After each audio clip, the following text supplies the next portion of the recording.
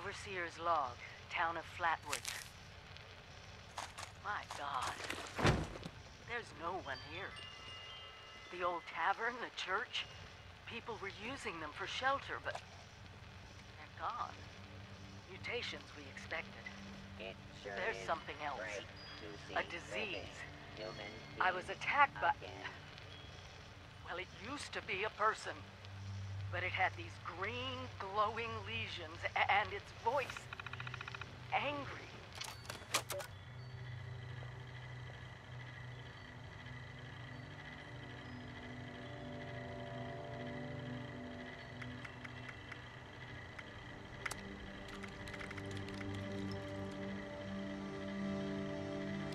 Before they were wiped out, survivors called themselves the Responders.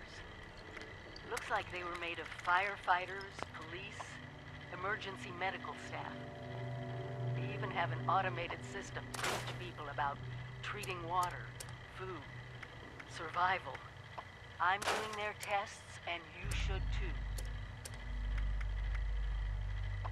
I know it's even worse than we imagined, but Someone's got to know where the missile silos are and how to secure them. The responders are the best lead we have. This is the Overseer, signing off. With smarts and a little luck, you'll do just fine out there.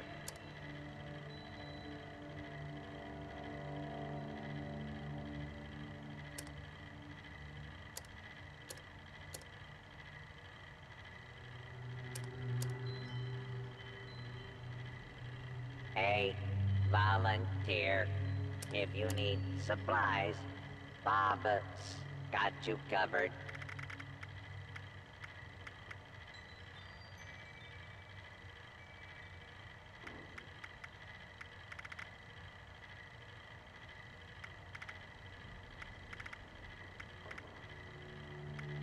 That overseer lady said more people would be coming. It's nice to meet you.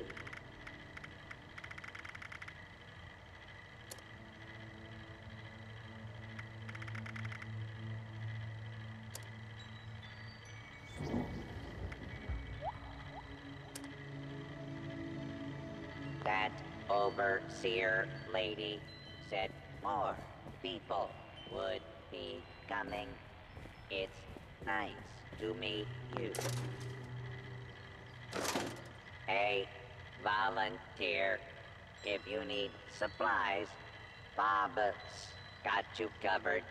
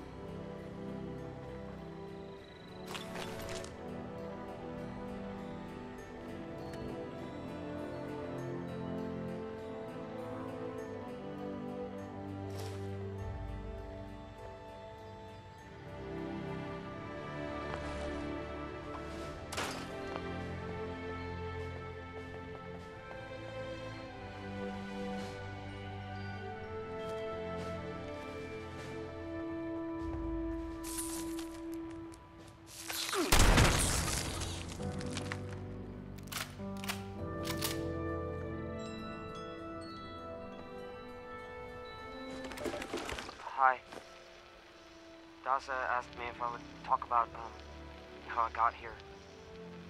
She asked everybody, so I, I said okay. My, name, my name's Colonel, and I'm 13 years old. I, I just wanted to say I'm sorry. I'm sorry for everything. Um, the bombs and the messed up people and the cows with two heads, all of it. I was bad. Just bad. I, I cheated on my spelling test. I, I kicked Chip Wilkins in the shins until he cried. I pushed Rosie McCloy down the stairs. Um, I, I cut holes in the bottom of all the gym shorts and I put glue in the mashed potatoes in the cafeteria. I told Harold Newell to eat 10 dead flies a day in order to grow muscles, and uh, put Nuka-Cola in the rat cage water bottles at the pet store. And, um, I just wanted to say I'm sorry about everything. My dad said if I wasn't this way, that bad things wouldn't happen. I, haven't seen Daddy since the bombs, and I, I guess he left because of that, too. It's okay. I'm, I'm trying to be good now, though. I'm, I'm not old enough to be a volunteer, but Dawson said I can help collect food and water, so I'm getting better. I promise. Daddy, if you're listening, I, I promise I won't be bad anymore, so you can come back now. Are you here for the responder training? Then you're not alone. A lot of people come here because of that radio message the responders left. That's what brought me here too. At first, I was planning to just do the training and move on, but honestly, I kind of like it here. I really enjoy meeting all the people that pass through and hearing their stories. Wait a minute. Are you one of those people who was in Vault 76?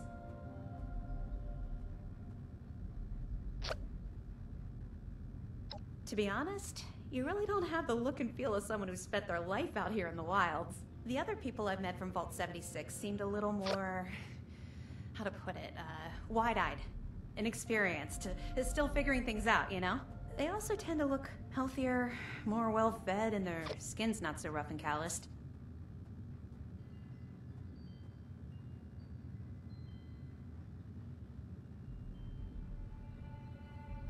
Course.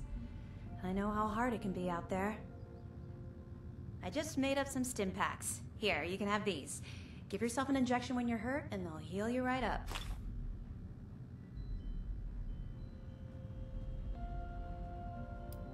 I found it in one of the houses. It fits great, and it's really comfortable and pretty durable, too. I'd also be lying if I said it didn't have some sentimental value for me. I've admired the responders ever since I first heard about them. What they stood for, helping people no matter what. That was really important. Me? There's not much to tell, really. I came in with Paige and the rest and stayed up at Foundation for a while. It was nice. But eventually I wanted to go my own way, you know? Get out and see some places I've never seen, figure out who I am. When I heard the message on the radio about Flatwoods, I was curious to meet the responder, so I made my way here. I decided to stay here and see what else I could learn. That's pretty much my story. It's up in the Savage Divide, which is what they call the mountains to the east. There are maybe a dozen settlers up there, though people always come and go, so it changes. Honestly, life is pretty good there. It's a community and everybody does their part to help.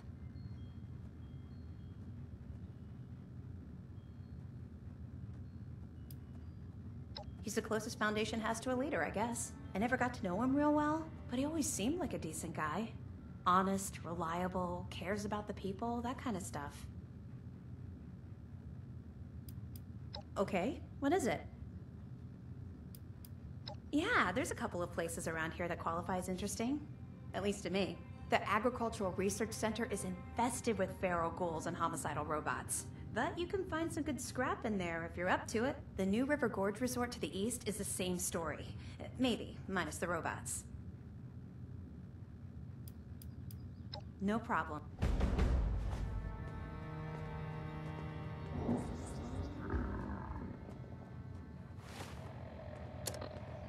Chance, no, you can't come.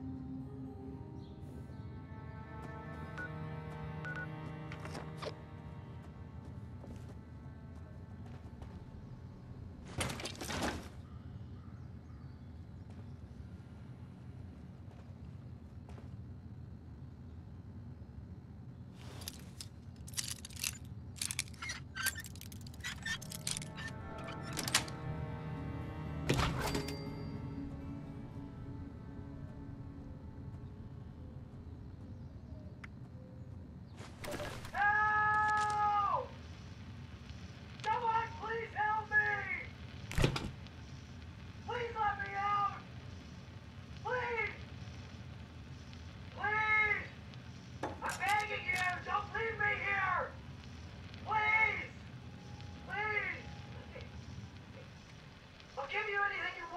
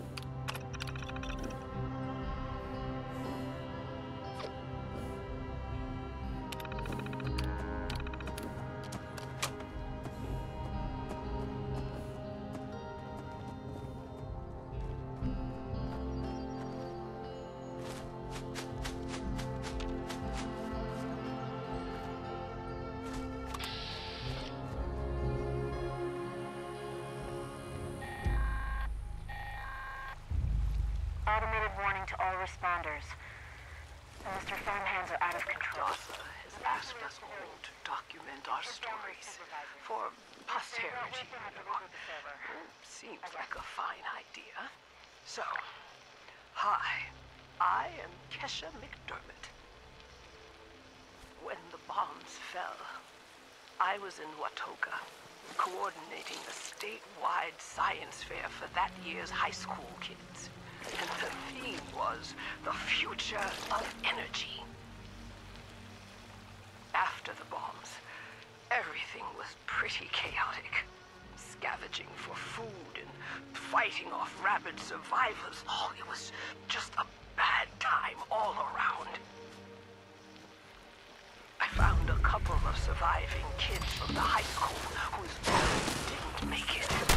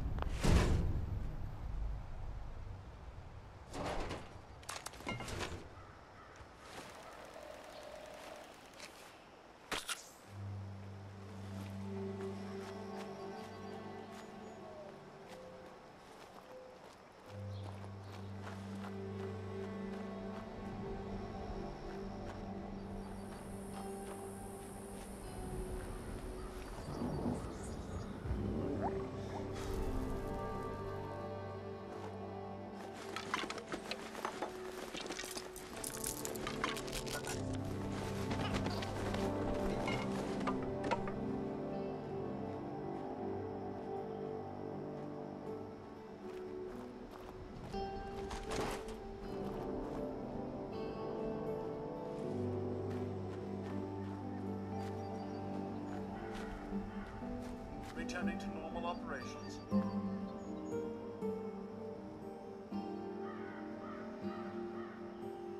Unidentified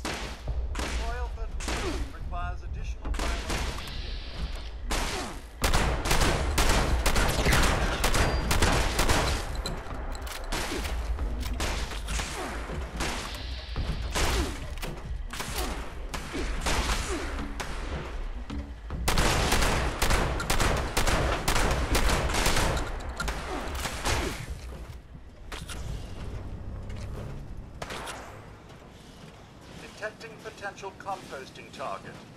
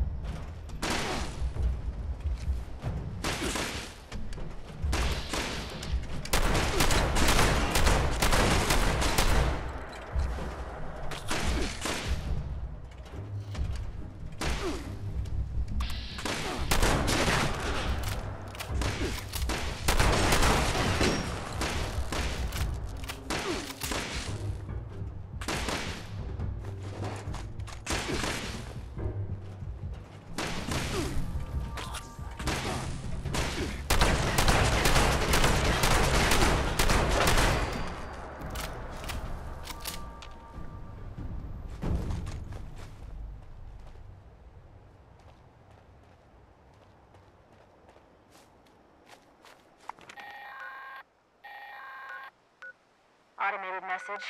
The Forest Watch detects all supervisors down. Good job. Responder team, proceed to the Ag Center and get to the mainframe. You need to reset the farmhand targeting parameters. That should keep our people safe in the area.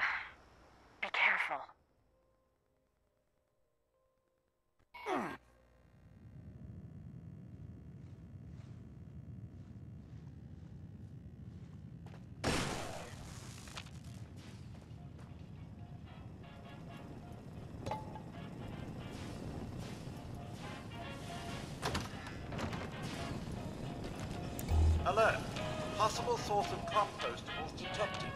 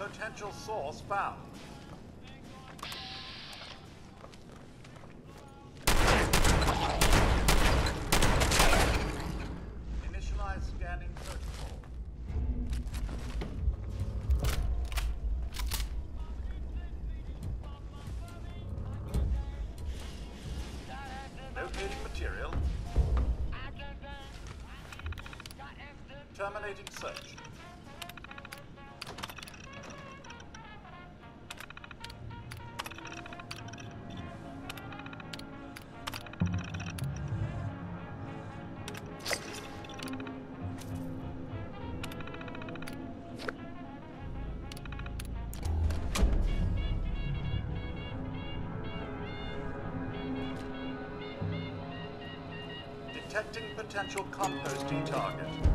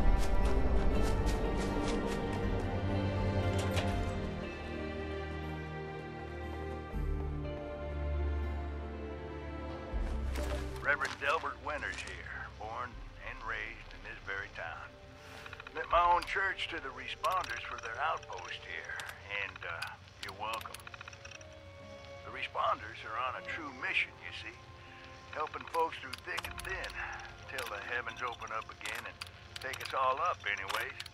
When this all happened, I figured like most it was time. This was the end, but, but it wasn't, was it? We're still here. At first, I thought it was a mistake, that we was missed, forgotten. Maybe we did some wrong. Didn't give enough to charity, maybe. Didn't praise his name, even in the worst times. Maybe thought some things that ought not to been thought. So I asked. I asked how. Why? I fought your wars on Earth. I'm ready to fight them up there by your side. Then, in my despair, I saw some survivors eating raw rat carcass behind a dumpster. You ought to cook that first, I warned them. Seemed obvious. We tried but got sick, they said, covered in their own filth. I realized right then and there that I was being tasked. From then on, I built kitchens, cooked good food, fed anyone who walked up with an empty belly. And I was thankful for my task in life. Thankful. Next time hell or high water land in my stoop, I'll be swept clear away with it. Until then, let's share a home-cooked meal together, all right?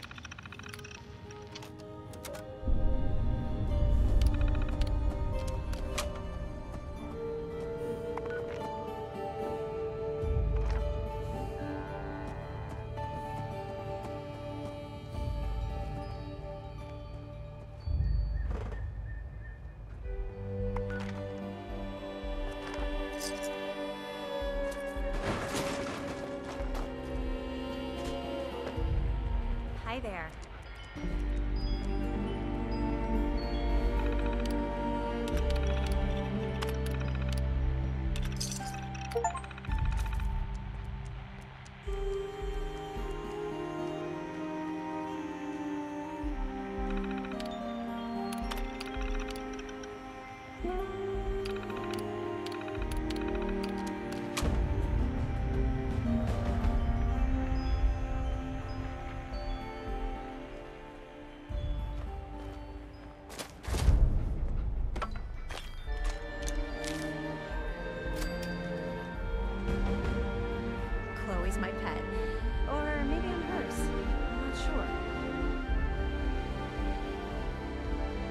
Here to brush up on your responder survival training?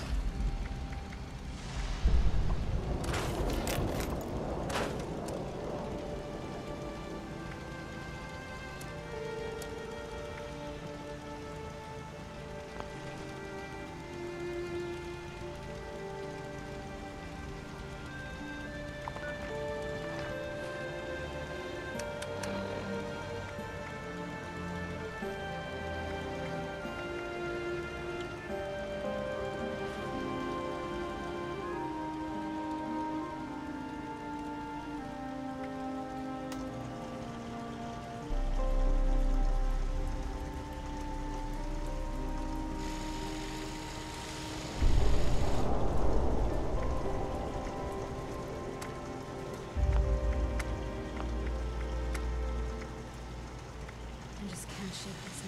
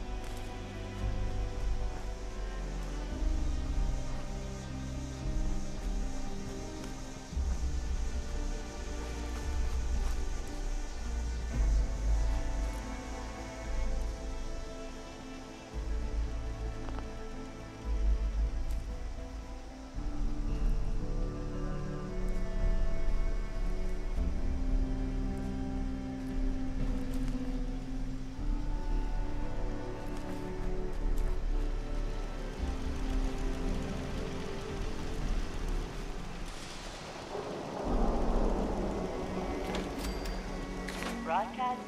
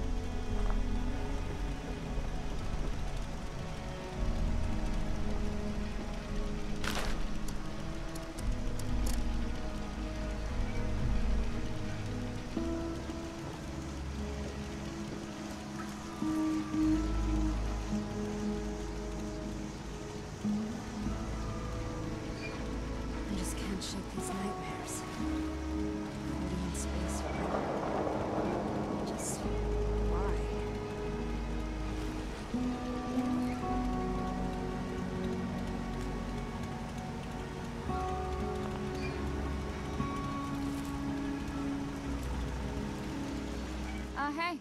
Good to see you again.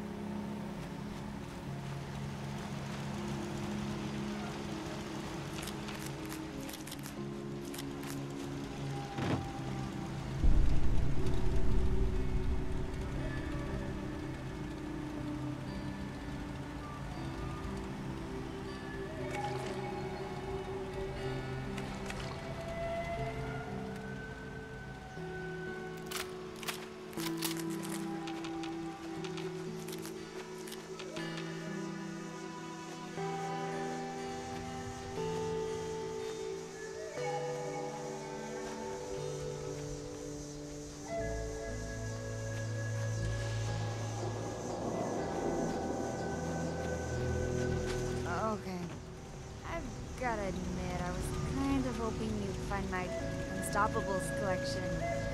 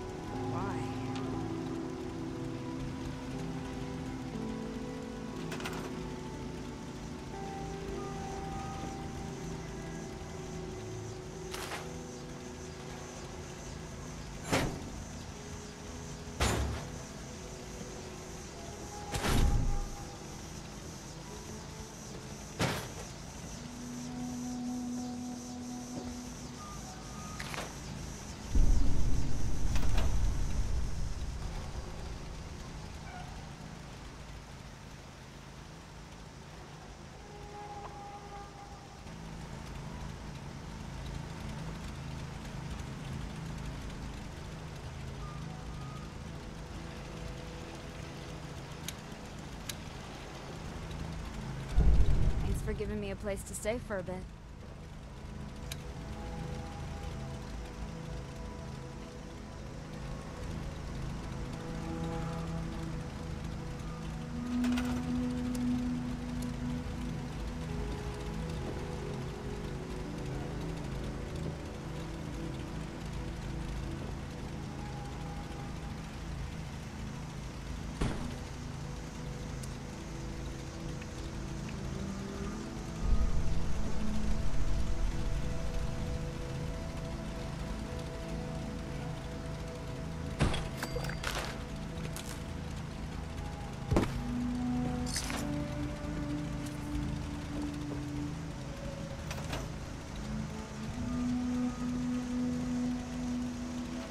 This is a mobile campsite then.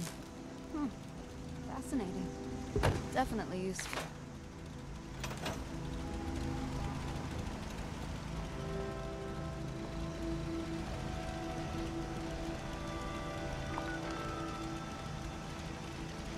I just can't shake these nightmares.